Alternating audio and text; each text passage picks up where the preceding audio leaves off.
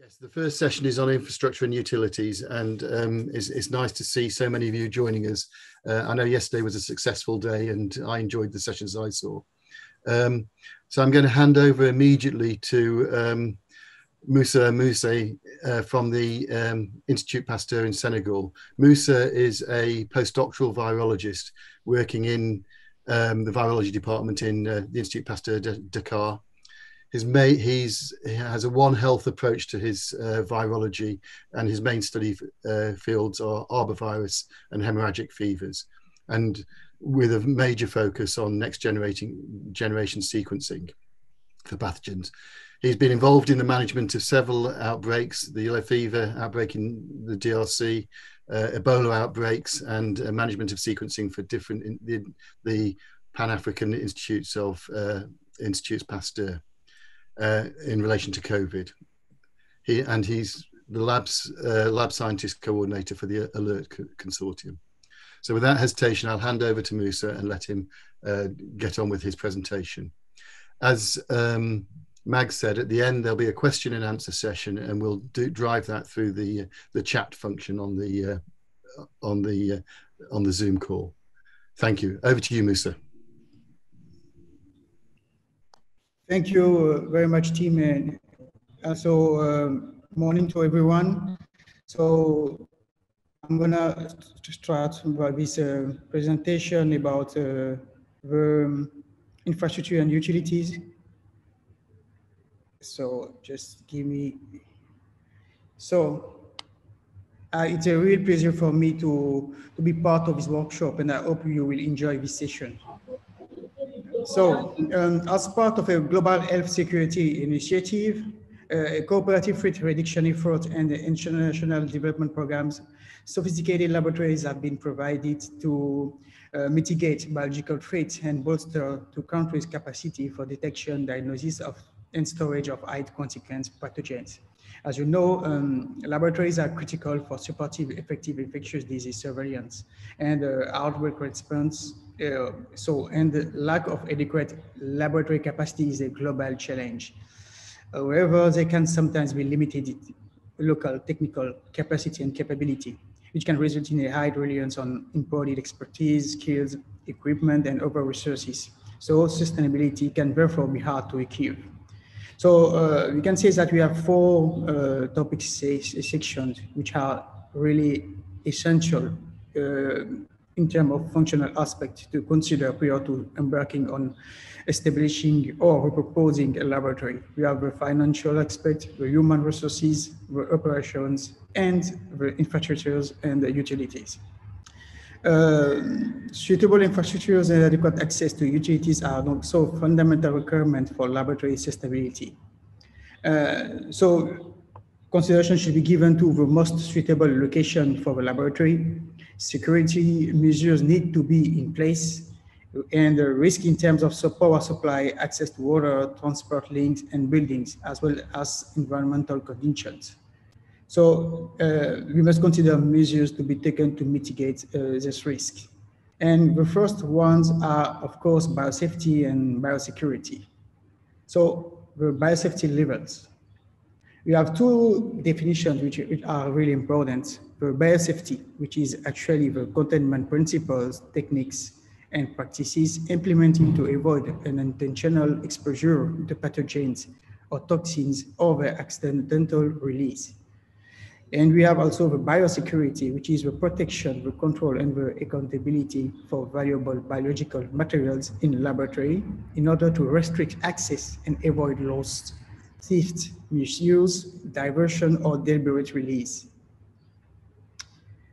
And as you all, all know, biological materials are can be samples like blood, urine, tissues, secretions, and etc. And which is which are in use in common in laboratories and research units, and are a potential source of risk, sometimes identified, but more often, most often uh, unrecognized and difficult to assess. And we have microorganisms, including those which are genetically modified, like you have cell cultures, the human endoparasites, capable of causing infection, allergy, or intoxication. And we have a notion of biological risk, which is the probability of being exposed to a biological hazard uh, in a directly way with an agent triggering the disease, with the case of the microorganisms, and indirectly exposition by a toxin. And when we talk about microorganisms, you have uh, different groups of uh, biological agents, which are uh, defined, I would say, by the pathogenicity of the, this biological agent, by the risk of uh, illness or exposition, by the risk of spread in the community, or by the existence of a prophylaxis or an effective treatment. So very quickly, you have this classification of biological agents. Uh, you should probably know. Um, in the group one, we have those uh, which we have a microorganism where for which one we don't have any uh, report of disease in humans. We have a case of adenovirus, for instance. The groups two, which can cause illness in humans and be dangerous for workers, but the spread is unlikely. We have a case of a Staphylococcus aureus, uh, or sometimes uh, some hepatitis. We have uh, groups three, which can cause serious illness in human. It, it can pose a serious danger to workers, and for which one the spread in the community is possible and for which one we have not have uh, effective prophylaxis, uh, but we have effective prophylaxis or treatment. And if you can see, see well, we have actual SARS-CoV-2 which fall within this third group, even one could uh, put in in the level four as there is no clear effective treatment so far. So we, we end with group four, which are the microorganisms which can cause serious illness, uh, a high risk of spread in the community, and which for which one we don't have any prophylaxis or effective treatment like uh, Lassa virus, uh, Crimean Congo hemorrhagic fever, and uh, overall hemorrhagic fever viruses. So this is the different types of facilities uh, for the management of these pathogens. We have a different type of laboratory with different uh, containment level. We have a basal one, which is a room ventilated uh, and uh, even insulated by a door and closed window, and which is easily washable, benches, walls, and floors. And so you just need uh, protective clothing uh, and clean, uh, tidy meat, and you need to respect uh, the most basic GLP. We have a BSL2, which have a BSL1 plus a regulated uh, access for a typical uh, uh specified personnel uh, and so we have a upgrade of uh, BS1, BLS1 level. We, are, we need PPE like uh, gloves, glasses, or use of needle box. And you have, of course, the, the microbiological safety cabinet, uh, which is actually a MSC1, uh, where the manipulator and the environment are protected by the creation of respectively an airflow entering the cabinet and the filtration of the air through a very high efficiency filter, while the product being under its unprotected systems comes into contact with laboratory air. Um, we have a BSL-3, which is actually a BSL-2 plus an airlock, a filtration in incoming and outgoing air. Uh, we have an intercom, which is of course optional. We have a negative pressure with an alarm system, a generator and shower. You use here in MSC2, a microbiological safety cabinet 2, uh, uh, which allows the protection of the ended material by though a road flow of air previously filtered through a very high efficiency filter. And we finish with a BSL4, uh, which is a BSL3 plus the emergency ventilation system, an intercom, which is mandatory, which is uh, compulsory, and you have a double airlock, a shower compulsory and we use here a MSC3 where the project is handled by means of flexible uh, sleeves ending in globes. And the environment is protected by filtration of the air in the chamber through two filters in series with very high efficiency, and there is no contact of internal part of a cabinet with laboratory air. So we have several different um, facilities uh, depending of, of um, microorganisms you are uh, you are working on. So it's basically the workspace organization under the MSC with a, a, a workspace organization uh, with a clean uh, work and the contaminated areas clearly separated, as always, uh, uh, everyone knows. So just to note that you, uh, I will invite, I'm inviting you to read this WHO manual um, about the laboratory biosafety manual, which is very complete and which will cover all points already discussed and more over us. Um, so about the biosafety levels, the facilities should be uh, should have an appropriate size, structure, and location with space to avoid contamination of samples with separation of activities, limited access, uh, the storage area with a controlled temperature, defined limits, alarm, and backup, a, a good maintenance, of course. The second part will be the waste disposal pathways. Uh, with several points, we have some guidelines which are well established to minimize risk associated with the disposal of laboratory waste we should minimize waste and do not accumulate large amounts in the lab. We should segregate waste, have a separate residue container if you are generating a large amount of any particular type of waste. So ensure the waste container is compatible with the waste you are collecting. You should label the waste residue container with appropriate waste label, of course you should store waste in a suitable area prior to go to collection. You have, for, inst for instance, the chemical and solvent which will be stored in a ventilated area. And residue container uh, lids must be secure. You should handle waste only if you are aware of the hazards associated with the waste and appropriate risk control. Uh, dispose waste as per relevant uh, following the, the guidelines and record all disposal on waste tracking log to ensure evidence of correct waste management. So, so we have waste disposal pathways uh, with um, actually the, the, this common uh, schema with waste which can be risk-free, which can be stored in the regular trash can, we have uh, the, the waste which are at risk of extinction, which can be liquid, uh, chemical, or, or solid. And all this one should be decontaminated, decontaminated neutralized before elimination. In and we should use HDPE uh, containers, uh, which are um, the most uh, the most appropriate container as it's high density polyethylene uh, containers before uh, incineration. In case you have a, a specific case of, of, chemical waste with limited value, so you can, uh, this kind of waste can be disposed in sanitary sewer under certain conditions. So we have here uh, several uh, legislation. Uh, so if the material meets the, the some criteria, it may be flushed to the sewer with at least an equal volume of water the material must have a hazardous material identification system, the HMIS, or a national national fire protection association NFPA as we, uh, rating of no or one for health and fire, and a rating of no for reactivity to be uh, to be able to be uh, flushed in the sewer. So you see that you should know the specific characterization of your product. So about the computerized laboratory managing, management information system, which are another part of your of the different aspects which should be taken into account.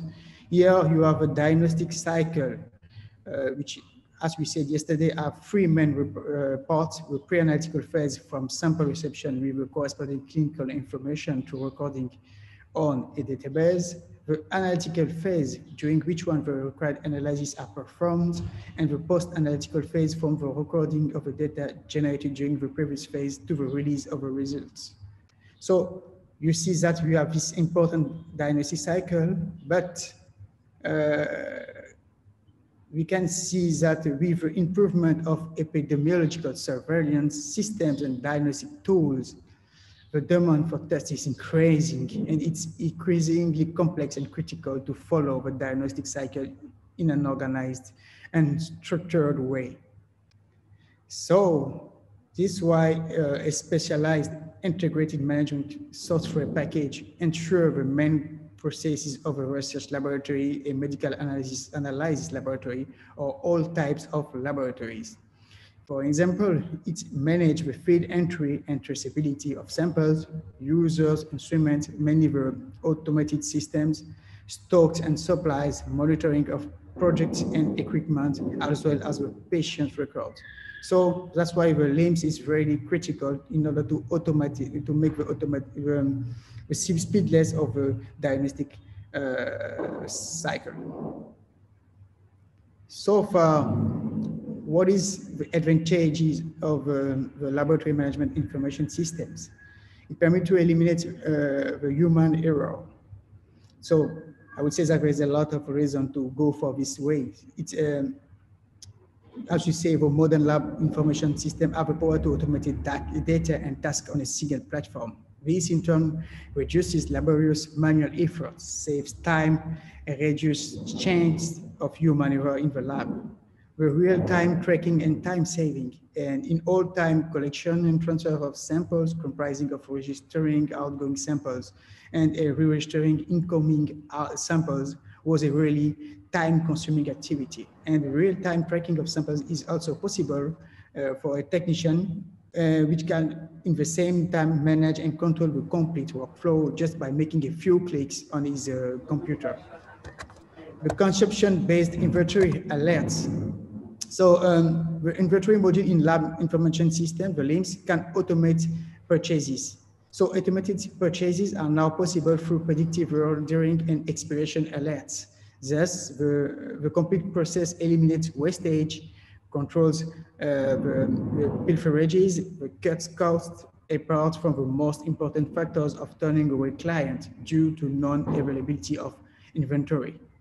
Uh, it helps for the quality control management. It becomes easy to, to keep good quality control records, perform analysis on quality control data, and generate statistics automatically.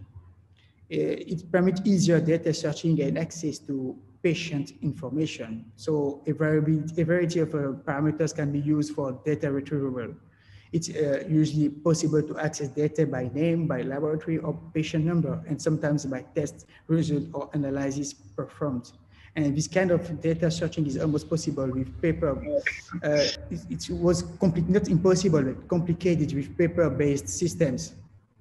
So the most computer system will allow access to all recent laboratory data for a patient, and this is very useful in the process of checking the most recent results against previous data to look for changes, which is a good practice and helps to detect errors. Uh, it permits an easier report generation and tracking. Of course, it's easy to generate detailed, legible reports quickly. Uh, so LIMS will provide standardized reports. And also a computer system make I would say, uh, I would say makes this report much easier to, to track and to make. And, uh, and, and the data are really easier to be reviewed and reported. We have also the, um, the, financial, the financial management, which uh, we can see that some LIMS system allow for management system for for example, patient billing for a, a uh, uh, for a medical laboratory, laboratory, for instance. We have also the integration with sites outside the laboratories. And so the LIMS can be set up so that data comes into the laboratory system directly from a patient or client registration point, and then data can be transmitted to many sites or interfaces as needed. So the results can be provided directly to computers uh, accessible to the healthcare provider or public health official. So the computers can handle data entry into a national laboratory database and almost any other uh, application that is needed. Um, I would say I will show you uh, an example of uh, this type kind of uh, uh, integration with sites uh, within the, the, the country. I will give an example of Senegal.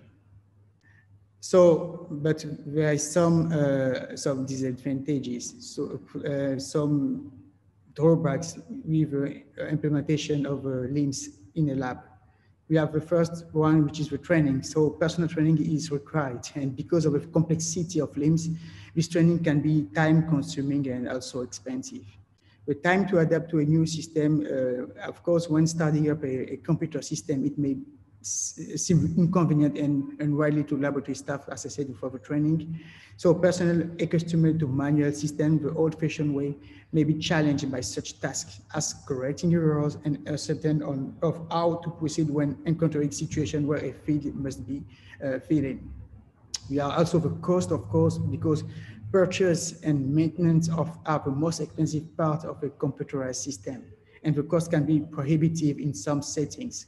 Additionally, some settings will not have good maintenance that is locally available.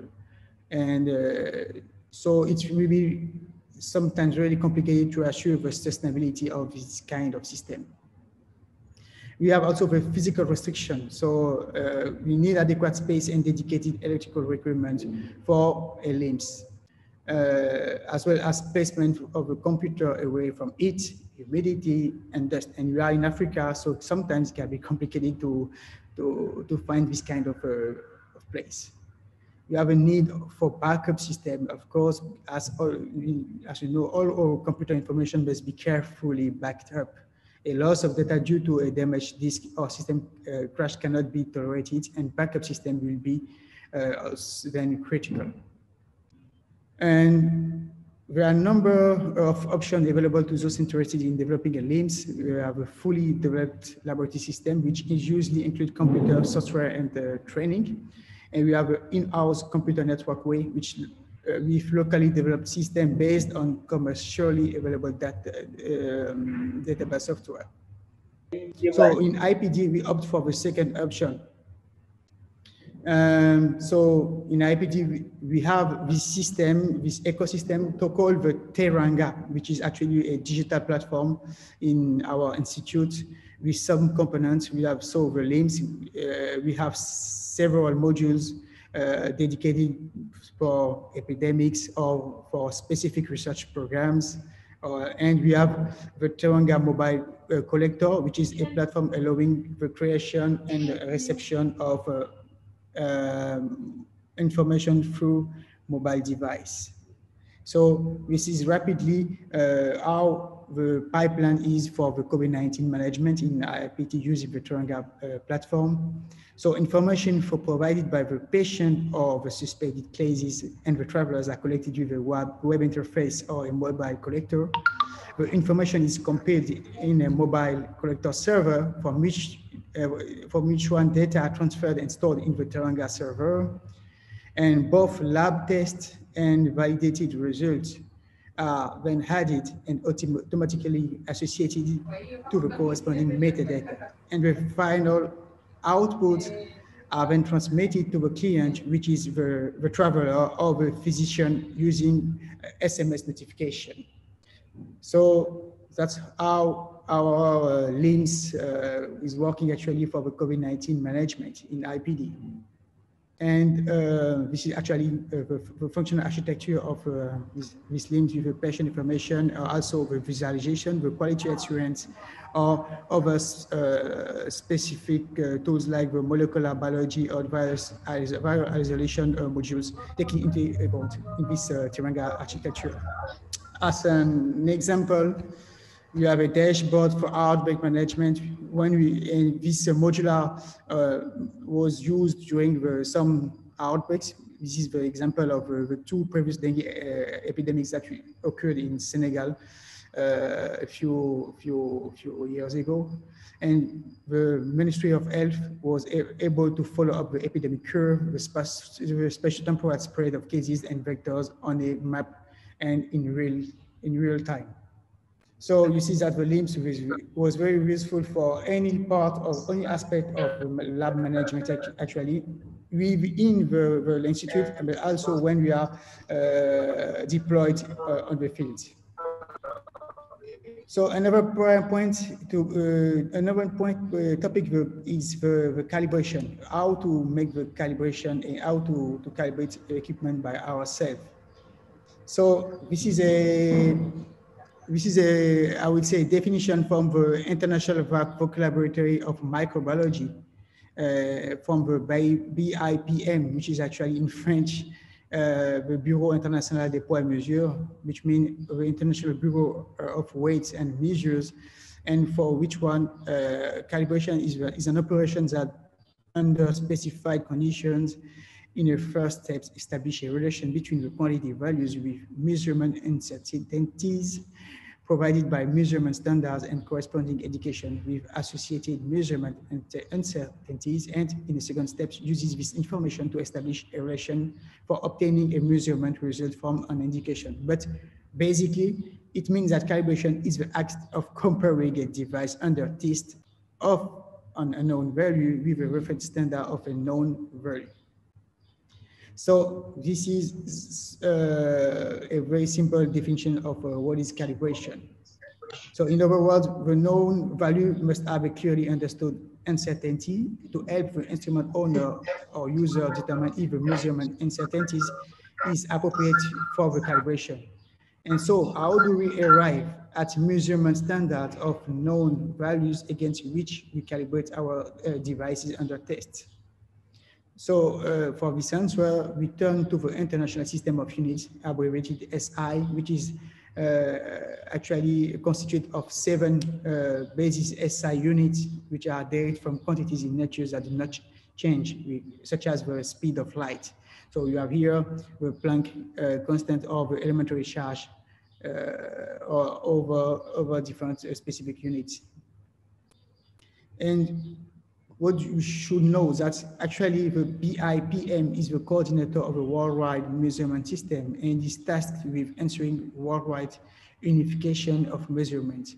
And a key benefit of having the BIPM manage uh, the SI on a worldwide basis is the calibration interoperability.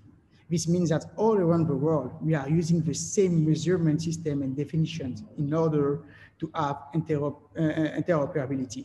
We need to have all of our measurements traceable to the same, same definition. And uh, the SI in this calibration traceability pyramid are the top of the calibration, uh, uh, on the top, and uh, the lineage from the lowest level of the calibration pyramid all the way up to the SI standard can be referred to the as traceability. And the BIPM helps pass the SI down to all level of use within countries for the fostering of scientific discovery and innovation, as well as industrial manufacturing and international trade.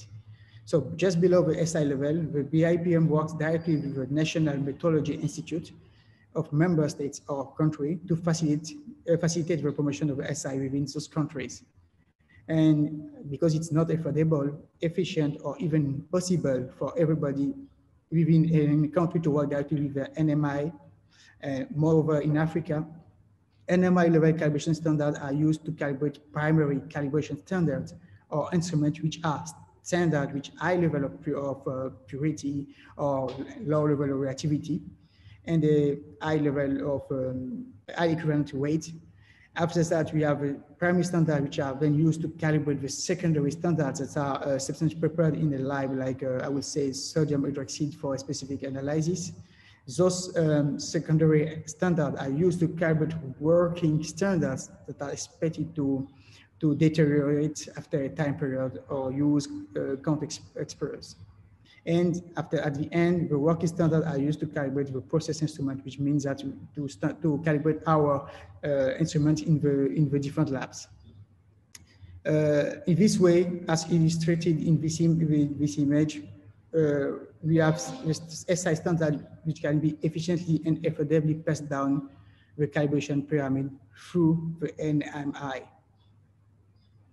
And so we are doing for the calibration accreditation, uh, because when calibration are performed, it's important to be able to trust the process by which they are performed. And so the calibration accreditation means that a calibration process has been reviewed and found to be compliant with internationally accepted technical and quality methodology requirements. Uh, so uh, this accreditation uh, gives an instrument owner confidence that the calibration has been done correctly. And we have the ISO IEC 17025, which is the international metrology quality standard to which calibration laboratories are accredited. And we have several, uh, I would say, uh, independent organizations which are certified, certified to, uh, to do this type of, of work to, to, do the accreditation services. You have an example in the United States of a National Voluntary Laboratory, or in England with the United Kingdom accreditation systems. Uh, sorry, sorry. So when an instrument calibration can be uh, code, when do we need calibration? So an instrument calibration can be called for uh, uh, when we have what is when it's new, when you have a new instrument, when a specified time period is elapsed, when a specified usage, meaning an operating hours has elapsed, when an instrument has had a shock or vibration, which potentially may have put it out uh, of calibration, when uh, we have note certain, sudden changes in weather and whenever observation uh, appear and which mean which can be uh, questionable. And how is a calibration performed? We have a couple of approaches to calibrate a, a device under test. Can, we can so conduct testing to verify that the instrument meets the in-house lab performance specification, meaning that we have already uh, in-house uh, standards. Or we can uh, conduct testing to verify that the instrument meets the manufacturer state specification, which is actually the most uh, easier way, I would say and the, the, the calibration uh, need to focus on three main categories, the accuracy precision, the technical aspect, and the environmental. I would just uh, go to the environmental, meaning that uh, we need to check about the thermal and mechanical shock, the transportation and storage, the vibration solar, the wind, the sand and dust, or uh, the ice accreditation, or as well as the, the protection. So, I mean, uh, in Africa, it will be the most important thing, uh, as you know. And why calibration is important? Calibration uh, permits to eliminate waste in production, of course, such as records required by producing things outside of design tolerance. It permits to help identify repair or replace manufacturing systems components before they fail, avoiding costly downtime in a factory prevent uh, both the hard and soft cost of distributing a faulty product to consumers, and also with calibration, costs go down while safety and quality go up. So periodic calibration is usually viewed uh, as a smart business investment with a high return on uh, investment. After, for the end, we talk about the contingency plans.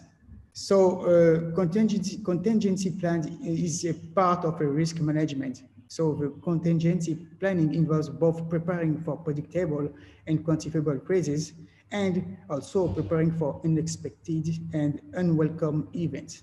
The aim is to minimize the impact of variable events and to plan for how the structure will resume normal operation after the crisis. And we have here this table, which is actually a, a risk assessment uh, matrix with different levels of risk from the low acceptable uh, risk to, I would say, an extreme unacceptable one. So uh, we have we have several steps uh, for making a contingency plans we need to identify and prioritize, the resources. So research and list the crucial resources such as teams, tools, facilities, and prioritize that list from most important to least important. See uh, what are the key risks, figure out where you're vulnerable by meeting with teams, executives, and every other department in the organization to get a full picture of what events could be compromised uh, your resources and hire an outside consultant if, if necessary. So it could be a good idea to have an external point of view. You need to draft a contingency plan. So uh, if you can write, write a contingency plan for each risk that you identified in the above steps, but start with what's most critical to the life of your organization. As time permits, you can create a plan for everything on your list. Whatever the plan you thought beyond each should be the steps necessary to resume normal operation of the company. Thinking about communication, people's responsibilities, the timeline, timelines, and, and extra. Share the plan, of course, and when you've written the contingency plan and it's been approved, the next step is to make sure that everyone in the organization has a copy a contingency plan, no matter how far or how, is not effective if it's haven't been properly communicated. So you need to disseminate your, your plan. And you need, of, of course, to revisit it, to revisit the plan because a contingency plan isn't, uh, isn't uh, I would say, chiseled in a, in a stone. It must be revised uh, and maintained to reflect changes to organization.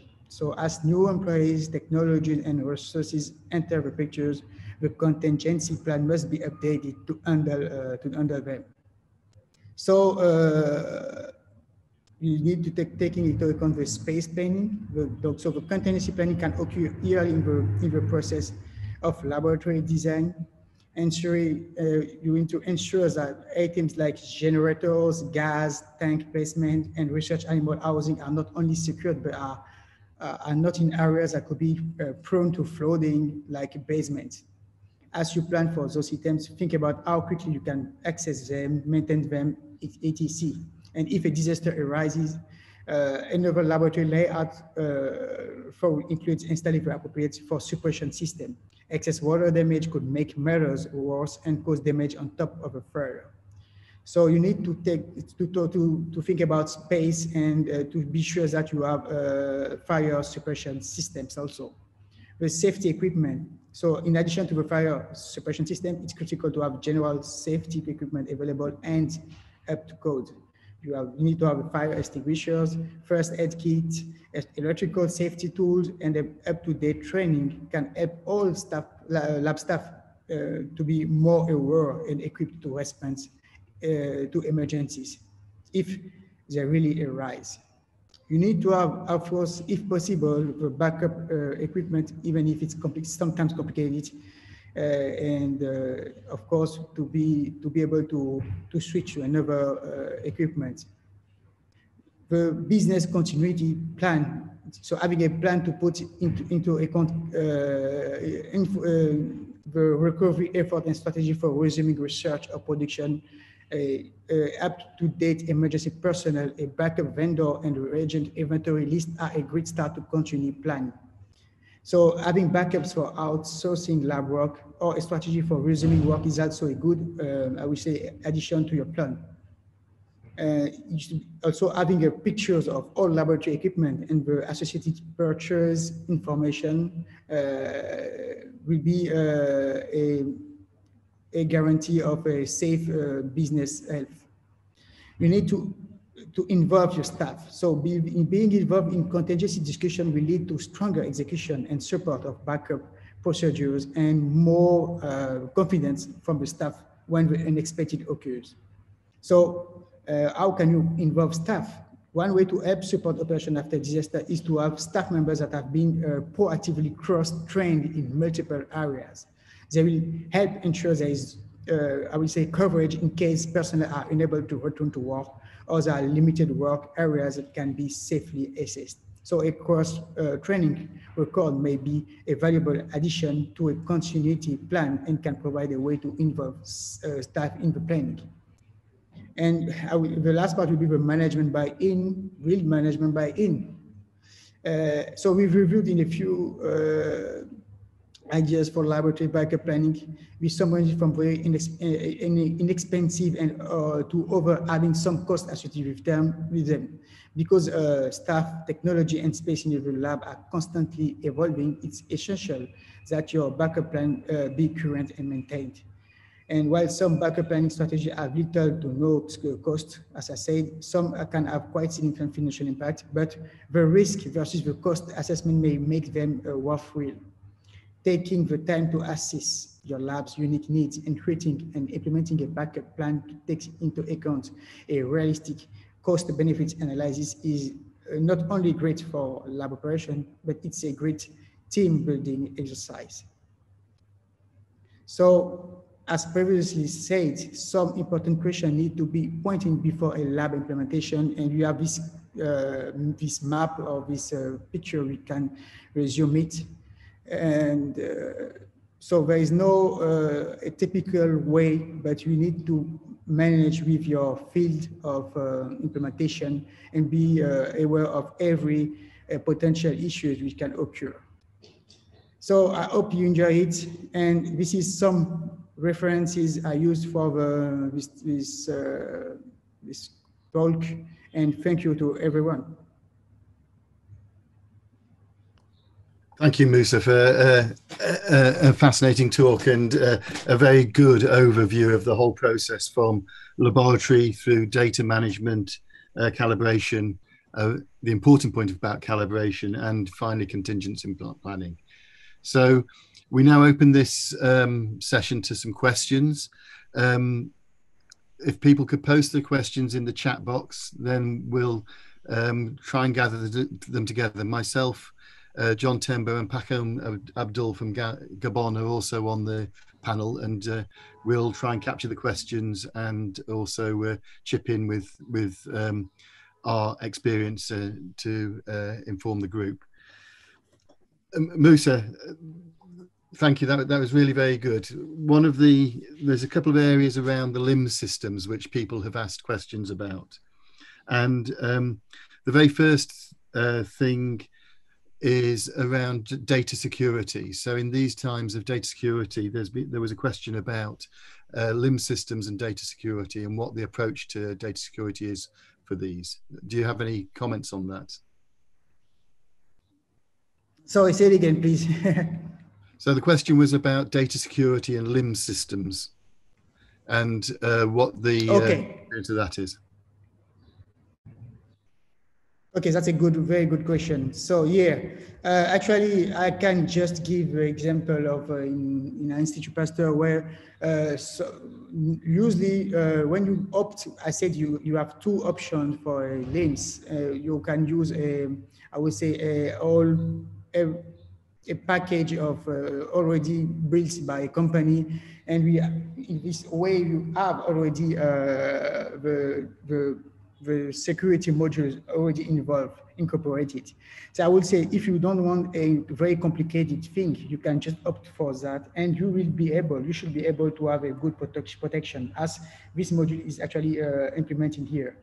So, but if you want an in-house way, it will be more complicated. You need to choose the, the best option. And in, I would say that in, in the market, you have several good uh, modules and you can also, uh, I would say, build your own module systems by your way, but you need a very good teams. Actually, I'm not a very good a, specialist of these things, but uh, I would suggest when you start with a, when you are at the beginning to go for an already packed uh, system and you should be able to have a, a, a security modules in your, your LIMS. Thanks, Moussa. Several people. So one of the things. So I've been involved in a couple of projects to institute LIM systems around um, sites in Africa, particularly with the Panacea project, and um, we've been working with a group from South Africa. In fact, there are national and international standards for data protection that um, most of the commercially supplied LIM systems now um, now follow. So they um, the EU stroke UK GDPR regulations um, have got particular standards which are used. And I think if you're concerned, well, you should be concerned about data security, but um, if you're thinking about that, then they're the standards that um, you should be looking at. I don't have the actual codes uh, to hand with me at the moment, mm. but it's something that we can look up and we'll post uh, the relevant regulations on the uh, on the website as we released all the information on this several several people have asked about specific system uh, naming specific systems um, and you know which system would be particularly appropriate for a, a low um, a low resourced laboratory i'm not sure that we should uh, today be um, advertising for particular manufacturers or providers um, but again, I wonder. So, um, Moussa, using yours is your system an in-house system that you're using? Yeah. Yeah, that's right. And I don't know, John and Pacome, have you got direct experience of systems that you're using in your settings? Um, in Zambia, we use uh, the LIM system um, that the uh, CIDRZ um, uh, laboratory uses. That's the CDC laboratory. Um, they they uh, came up with the LIM system uh, to the market. So that's the one we've been using. I'm not sure what the actual name of the software is. Uh, I'm trying to look it up right now. and I'll type it into the group. Um, so uh, just give me a few. Thanks, John. Um, Pacome, how about you? Have you got direct experience?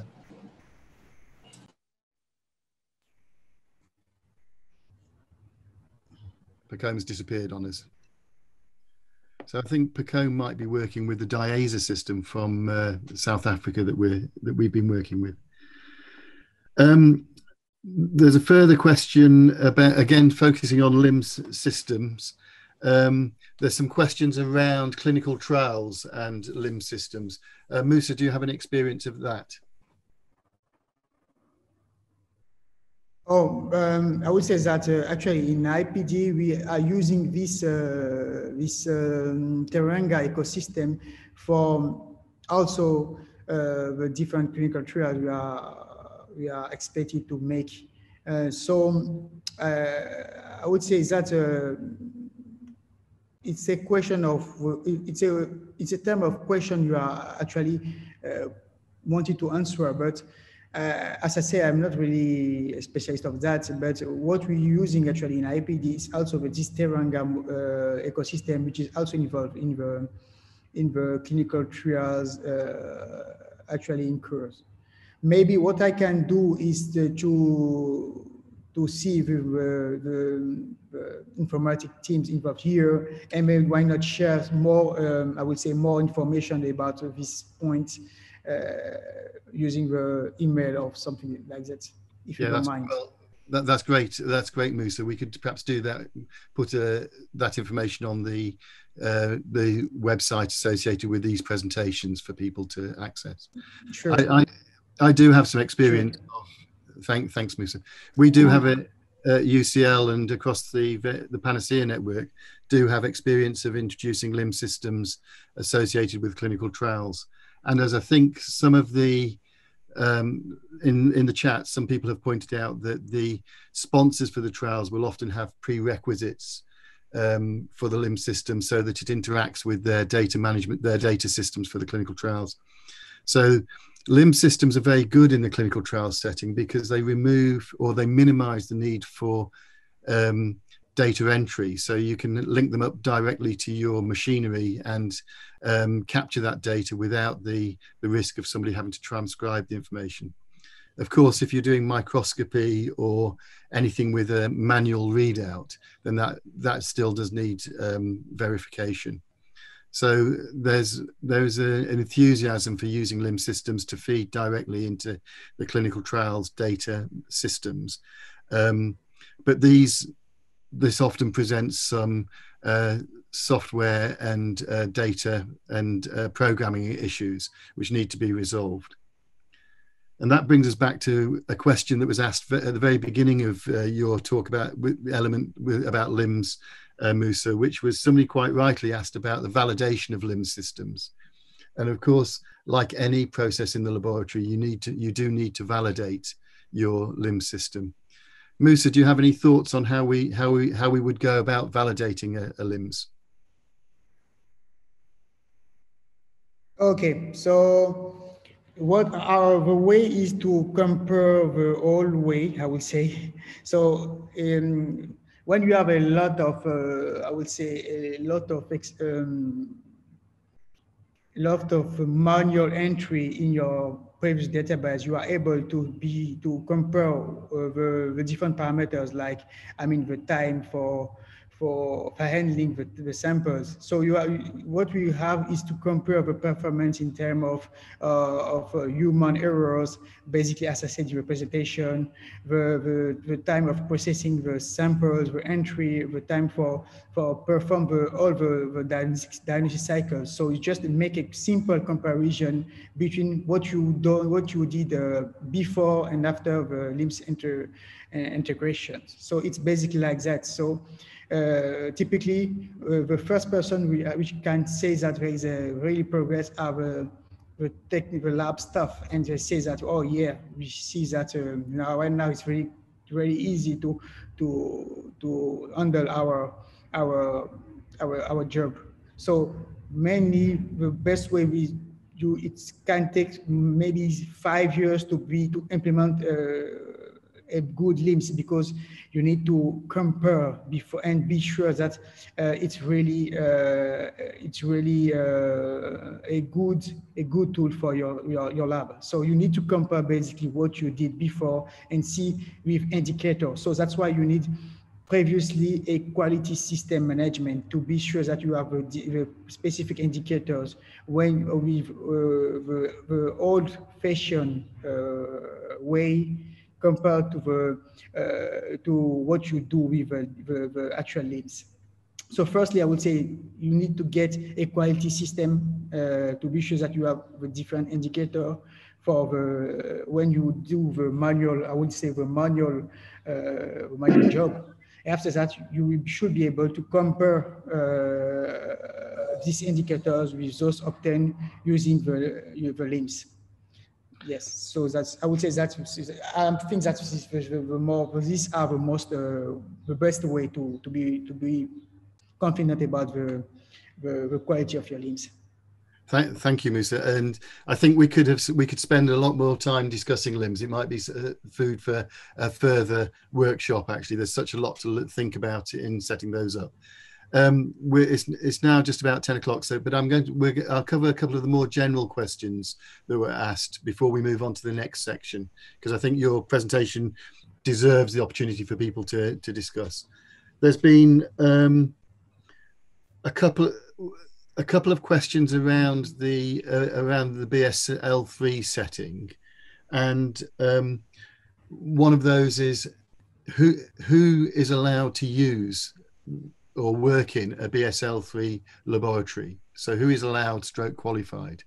So I have views on that, but uh, I'd prefer to hear your views, uh, Moussa, and then perhaps we'll try and bring uh, John in. I know Pacome's having difficulty with his uh, his connection. So Moussa, do you have thoughts on how you approve people to use the BSL3 facility? All right, that's a good question too. So um, actually we need uh, also, we, we, we, are coming back to the quality uh, and uh, I would say uh, hygiene and quality and security system. So as you know, you should in, have in your lab or in your institute HQE uh, uh, system when you are able to, to I would say, to, to evaluate people, to have specific, um, I would say, to have specific course uh, involving the, the, the, the, biosafety measures which can be uh, known, which should be known by the different, by, by the lab, by, by, the lab staff.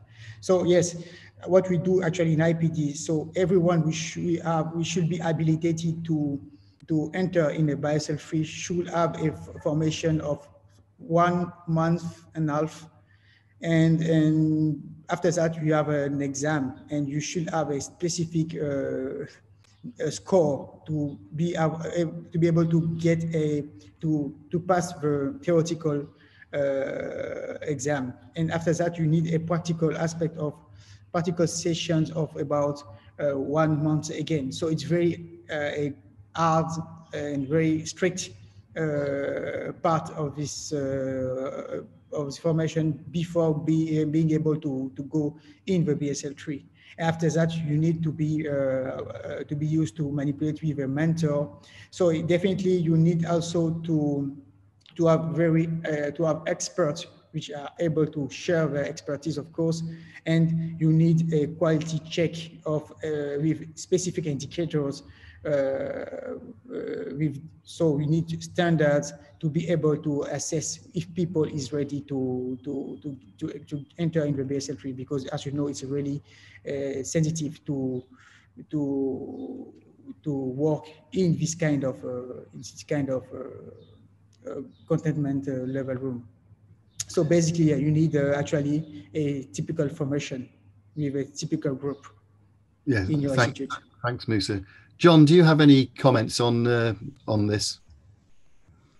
Um, yeah, so to work in a BSL three laboratory, um, there should be like there should be a specific uh, protocol uh, established in the lab as to who gets access and how you train up whoever is going to get access to the BSL3 um, facilities.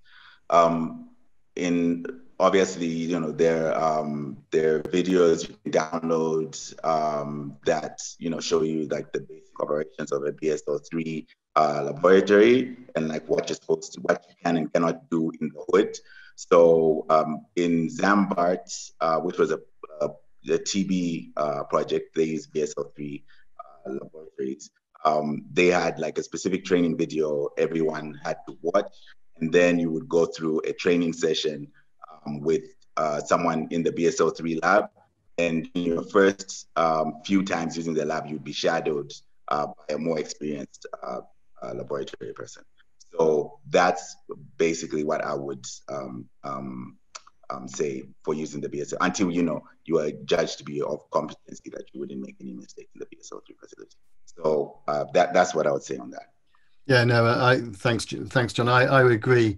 I mean, in our in our laboratories, we have a competence assessment process, and um, that process um, takes into account the the initial training of the of the person and then them achieving competence in a in certain range of skills and also knowledge of of the issues involved I think it's important.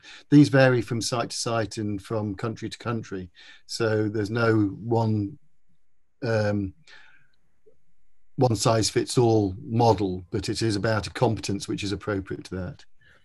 Um, there's one it's now almost five past 10 so we should be moving on but there's one more question that um, is interesting um, well um, actually there's two questions i am going to ask uh, from the chat box there's the first one is it's almost a trick question uh, that somebody's asked so where do glove boxes fit into the uh, BS, bsl categorization process so Moussa you can see why I think that's a trick question. What what's your thoughts on that? How do they how do you account, account for fit glove boxes into the categorization of your laboratories?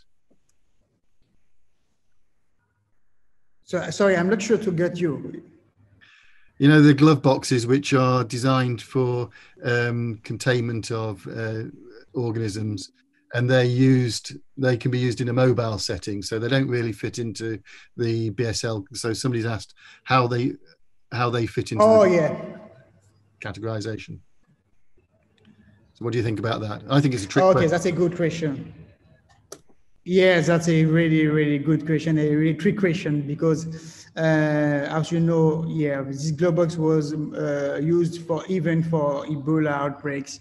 And we don't have sometimes uh, all the different uh, the different um, I would say uh, filtration or, or the airlock we, we, we should have in the typical uh, BSL4 and of course and even in some BSL3 but I will say that it's a kind of BSL 3.5 if you if you allow me because actually uh, it's allowed um, uh, as a BSL, uh, a BSL3 and MSC3 uh, to, to manage with a product which is handled by uh, a, a, flexible, uh, I will say, flexible sleeves uh, ending with, with gloves. And also your environment is protected, even if it's only physical sometimes. And you have also the, the filters in which are very very uh, tight. We have, and we have also, there is no contact in, of the internal part of the cabinet with the laboratory air. So, uh, but also you are not in, typically in the BSL4, but you can manage to be like, like that if you wear your own PPE. That, but that's why I would say so it's close, it's between BSL3 and BSL4 and it's uh, it's a good uh, option when you are in a very uh, remote area. And so, yeah, definitely you can manage to it, it, you can manage uh, even uh, very dangerous uh, pathogen with this with this kind of glove box, but you need to be perfectly trained, perfectly trained before before going through before before using them. Uh, so I would say 3.5, uh, but very close to uh, a BSL 3 because you are only use them for diagnostic, not for other kind of, uh, I would say, cultural and this kind of thing. Over. Thank, thanks, Moussa. Yeah, I agree. They're, they're really a compromise, aren't they? Because in, in, in order to undertake diagnostics um, processes in a setting where you don't have a full BSL-4 facility. So thank you for that. I, I think, um, okay, so there's one final question, and that's about contingency planning. And it's a, and the question came, how often do you revisit your contingency plan? So you quite rightly said you should revisit your contingency plan. Do you do that on a, a regular basis, or do you have some triggers to to do that? What are you, what are your thoughts on that? Yeah, that's a good good question. So I think that I I pointed uh, during the the the representation. So as you said, the contingency contingency plan is uh, a very uh, it's a part of risk assessment. So when we see when you detect any changes uh, during the in the lab, when you have new stuff, when you have new uh, I would say new uh, evolution uh, of your, your environment, when you have uh, any uh, modification of your, your ecosystems, you should make an, a contingency plan. So it's a way to, to, to, to update uh, your, your, your contingency plans when necessary. It's not a, a periodical, I would say a periodical uh, way. I would say that it's depending of how evolved your, your, your lab or your institute. So uh, what would trigger the contingency plans is if you have any uh, evolution of your situations uh, comparing to the previous uh, time when you you you you built your, your, your first plan. So that's why um, it's depending on how evolve your your situation in your lab or in your institute. Thanks, thanks, Moussa. I think we should draw a draw a line there. I'm conscious that you need to get on to your to another task as well. So, um, so Moussa, thank you. Um, I second the. I, some while ago, somebody put in the chat. Uh, this was an awesome presentation. So, uh, and thank you for that uh, overview of of the process. So, thank you very much.